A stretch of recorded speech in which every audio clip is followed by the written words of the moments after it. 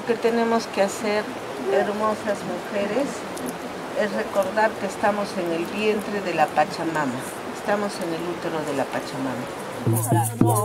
de la Pachamama.